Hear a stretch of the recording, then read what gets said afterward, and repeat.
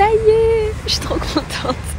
Je suis de retour à Marseille, à la maison. Ça fait du bien, même si les 15 jours à Saint-Barth étaient exceptionnels. J'avais pas hâte de rentrer parce qu'en soi j'aurais pu rester là-bas toute ma vie. Mais euh, je suis quand même très contente d'être à la maison. Ça me fait du bien, moi j'adore être chez moi, j'adore être tranquille devant un petit film et euh, en mode mamie. Mais à Saint-Barth on s'est régalé. C'était trop bien, donc je suis contente d'avoir eu euh, ce moment-là de, de fiesta entre filles. C'était trop trop bien. D'ailleurs, je vous avais posté plein d'adresses. J'espère que vous les avez screen pour votre prochain girls trip. Si jamais vous décidez d'aller à Saint-Barth, c'est vraiment une destination exceptionnelle parce que c'est vraiment très très safe.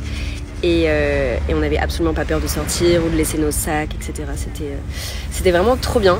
Euh, donc là, retour à Marseille. Et je me dis que j'allais quand même pas louper une minute de soleil, même si j'arrive de Saint-Barth. Je me suis mis à la mer.